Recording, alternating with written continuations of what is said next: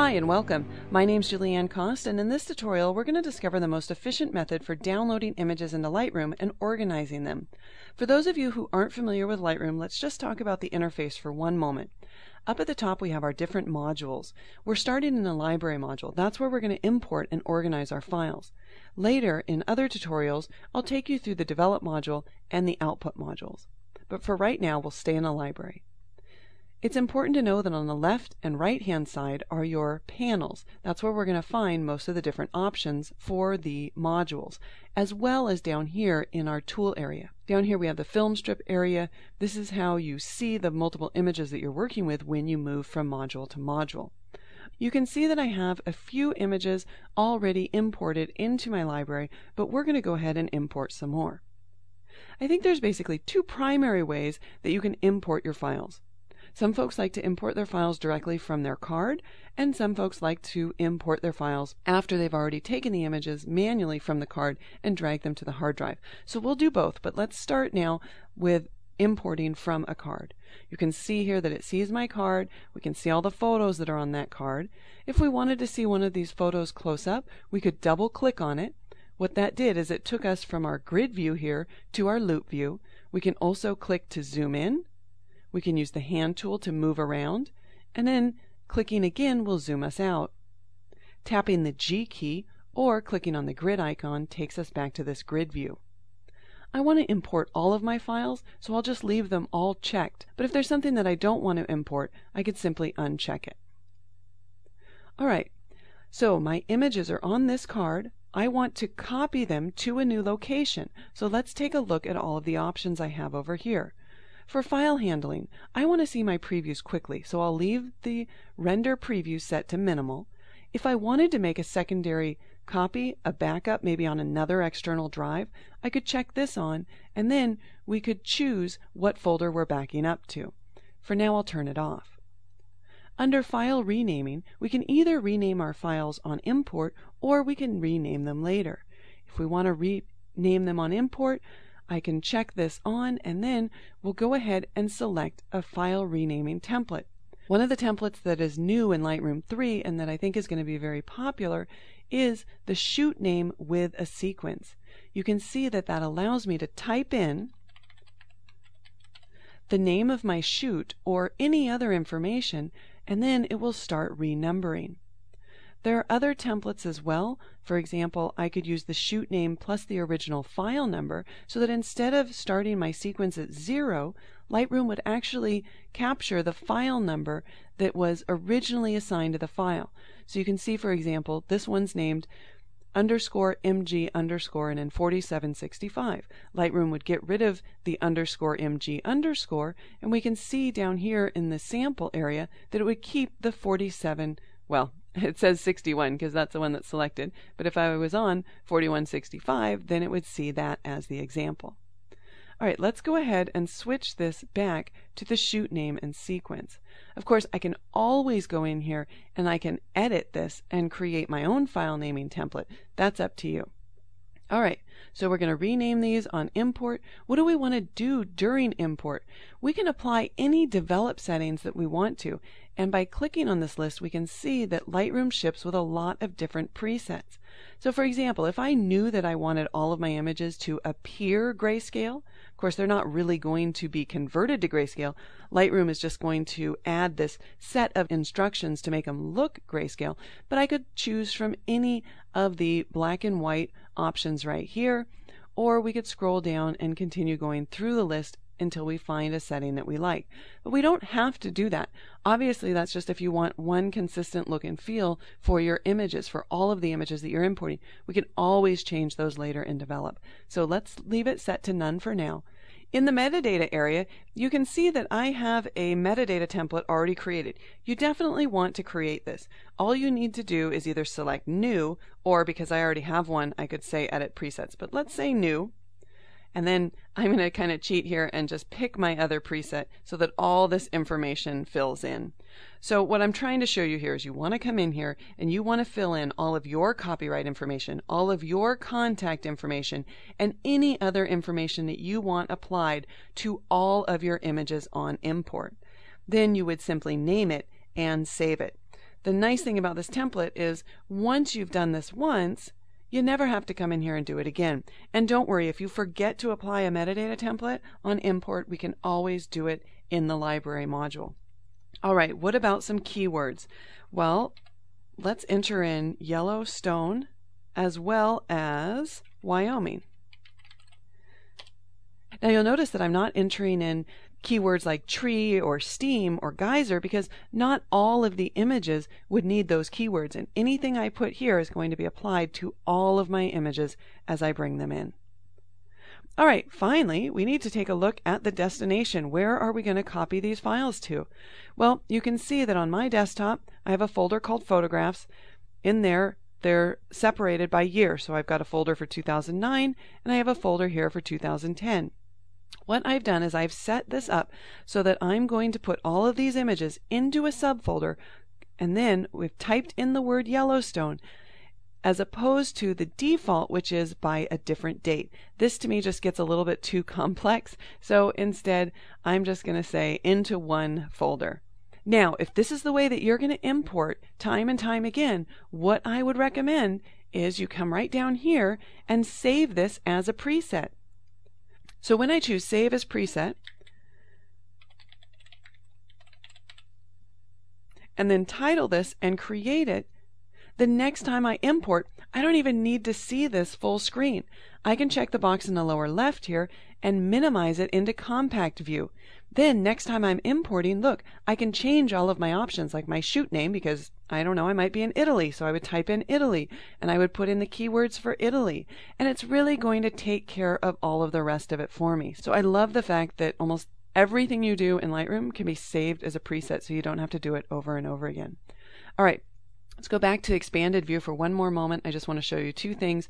In the lower left, you can see how many images you're importing as well as how much space they're going to take on disk. And I can even choose to eject my card after import. Fantastic. So I'm going to click import now and Lightroom will go ahead and import those files. You can see a few things happening now. So first we can see this copy and import photos uh, progress bar going. We can also see as the images come in they're listed as part of our current import. And we can see that Lightroom has added the folder that we told it to that it is importing the files into. Excellent. Now there's some important information that I need to talk to you about regarding the catalog versus the folders. Now the catalog will show you all of the images that are in your library here. The previous import just shows you what you've previously imported. But if you actually want to start working with the images, I'd go ahead and select them down here in the folder area, in the folder structure. Because down here you can do things like create custom sort orders and things that you can't do with previous import. All right, let's go ahead and drag down. You can see all of the images have been imported. And you know, it looks like I have a bunch of images here that all go together, kind of a part of a time lapse. So what I'd like to do is I'd like to create another folder and then select all of these images and put these images in that folder. So with the Yellowstone folder selected, I can click the plus icon to add a subfolder. If I wanted to add this folder somewhere else, like I don't know, maybe I want to move these files to a different drive. I can add a folder anywhere, but for now I'll just click to add a subfolder. We'll call this time lapse. And I'm going to include the selected photos since I went through the process of selecting them. Why not?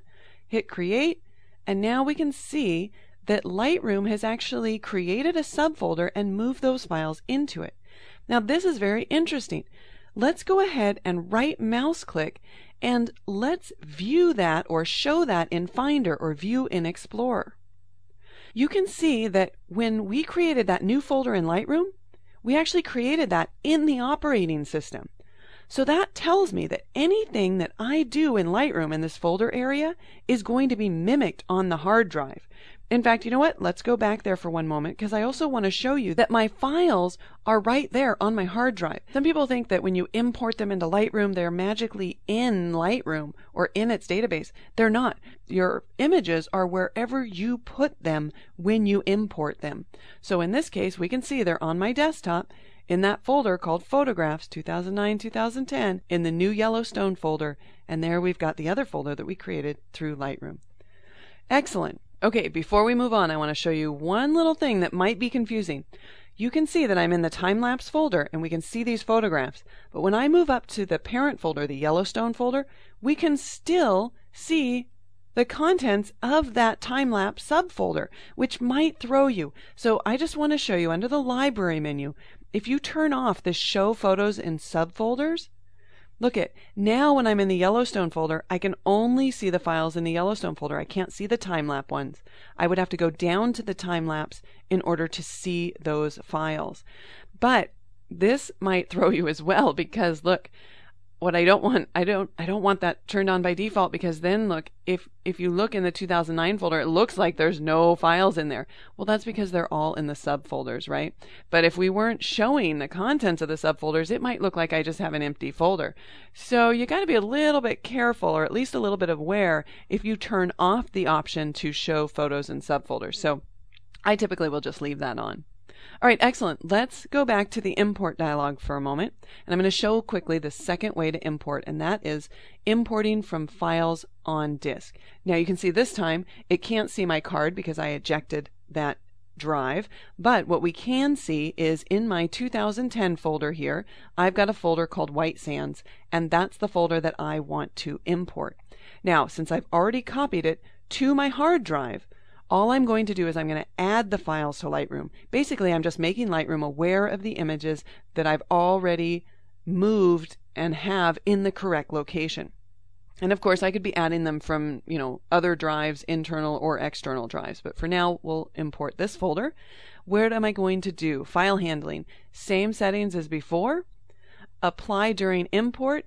No develop settings this time, but definitely the metadata and yes, some keywords. Let's do white sands, and we can put, um, actually, let's put National Monument, and that is in New Mexico. All right, excellent. Again, if this is the way that you typically prefer to import, you might want to create an import preset. I'll go ahead and select Save, and we'll just call this Add from Disk or from Drive. Maybe that's easier. All right, then hit create. As you can see, we can see both of those presets right here, add to catalog in place and import from card. Okay, fantastic. That's all we need to do. Just click import. This time they're going to import a little bit faster. And the reason for that is I happen to have a really slow um, card reader, which I need to fix. I need to get a zippier one. Um, but because when you add from your drive, Lightroom doesn't have to copy, or your operating system doesn't have to copy the files from your, your card onto your computer. This is obviously going to be a little bit faster. So here we've imported our 174 images, and we can see right down here in the folder area, here is our White Sands folder. Excellent. Okay, one of the things that you might have noticed was that when I add from disk, I can't actually rename on import. So if I wanted to rename my files, I would simply do a select all, which is Command or Control A, to select all of these images in the White Sands folder. And then we can go underneath the library menu and choose to rename our photos or choose F2. And then we can either select from one of the presets or we can go in here and edit them. So I just wanted to show you how to create your own preset. So I'm actually just going to type in my name and then I will add just a portion of the date. I just want the year here. So I'll select it and then click insert. And then I obviously want a sequence. So let's go ahead and choose from the list however many numbers we want. It's inserted it automatically. Fantastic. Let's go ahead and save this as a preset. We'll just call this uh, JKost and then file naming convention. Fantastic. And hit create. So again, um, I'm showing you a different file naming convention here than we used before. I don't think if I were you, I wouldn't mix them, but I wanted to show you more than one option. Oh, you know what? I need to add a little underscore there. Otherwise, it's too confusing when I see that. And that's great because it gives me the opportunity to also show you if you've saved a template and then make a change to it, you can see it says edited. But if we just come down here and say update the preset, it will go ahead and update the preset for us. So excellent. All right, let's click done. And now we can choose to start this on whichever number we want. Go ahead and click OK, and it will go ahead and rename those files for us. Okay, something else I want to talk about. This 2009 folder and the 2010 folder here, it might be a little confusing for some of you. You might want to see what folder those two folders are in. So if you ever do, you can just you can just hold down the control key or on the Mac or right mouse click and then choose to add the parent folder. What it's going to do is it's going to add the next folder up so we can see now that both 2009 and 2010 are both in that photographs folder there. If you ever wanted to add more keywords, you would simply click right down here and then we could type in something like nest or still life. You can see that Lightroom's auto completing it for me, which is quite nice. So that's how you would add additional keywords. We also have uh, suggestions. It will come up with suggestions based on what other keywords you've used, and you can also create your own keyword sets. But that's a little advanced for this tutorial. And then the metadata area, if you've forgotten to add your metadata preset on import, you can go ahead and select it here and then go ahead and add that preset at any point in time. Excellent. That wraps up this tutorial on how to import files and organize them in the library module in Lightroom.